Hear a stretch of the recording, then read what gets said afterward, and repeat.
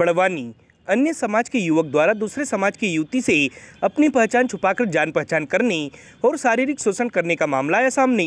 बड़वानी कोतवाली थाना प्रभारी राजेश यादव के अनुसार बड़वानी कोतवाली थाने में युवती द्वारा शिकायत की गई कि एक युवक, जो अन्य समुदाय का है, उसके द्वारा उस लड़की से सब चीज़ें छुपाकर उसका शारीरिक शोषण करता रहा और शादी करने का दबाव डालने के साथ साथ लालच देता रहा। युवक अपने आप को उसी समुदाय का दिखाता रहा, जिस समुदाय की लड़की है थाना प्रभारी के अनुसार युवक युवती को अपने समुदाय में लाना चाहता था। युवती द्वारा की गई शिकायत के आधार पर पलसूद के रहने वाले आरोपी सोहेल उर्फ़ सनी के खिलाफ धारा तीन सौ छिहत्तर, दो सौ चौरानवे, तीन सौ तेईस, पाँच सौ छः के साथ ही धार्मिक स्वतंत्र अध्यादेश 2020 के तहत मामला दर्ज किया गया है।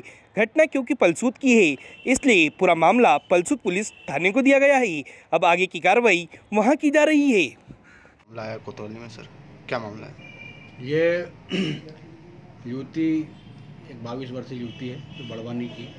इसने थाना आके एक युवक, जो अन्य समुदाय का है, उसकी शिकायत, लिखित रिपोर्ट प्रस्तुत की थी कि उस युवक ने इससे सब चीज़ें जो है, अपना छिपा के और उससे संबंध बनाए और उसका शारीरिक शोषण करता रहा और बाद में उसको दबाव डालता रहा कि मुझसे शादी कर ले और लालच भी देता रहा। और जो युवती ने जो तथ्य बताया तो उन तथ्यों के आधार पर प्रथम दृष्टिया जो युवक है, उसके खिलाफ धारा तीन सौ छिहत्तर आई पी सी और दो सौ चौरानवे, तीन सौ तेईस, पाँच सौ छः मारपीट जो की गई थी उसके साथ, एवं धार्मिक स्वतंत्रता अध्यादेश 2020 है, उसके तहत युवक के खिलाफ अपराध पंजीबद्ध ज़ीरो पे किया गया है और वो मामला चूँकि घटनास्थल पलसूर का होने से पलसूर थाने को ट्रांसफ़र कर दिया गया है। पलसूर थाने के द्वारा उसमें अग्रिम कार्रवाई की जा रही है। सर युवती ने आवेदन में क्या बताया था? किस तरीके से उसके उससे गुमराह किया गया था?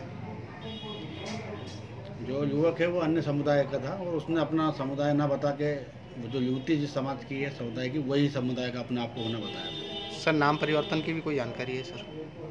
नाम परिवर्तन वाली बात नहीं आई है इसमें लेकिन उसको अपने समुदाय में लाना चाहता था वो युवती।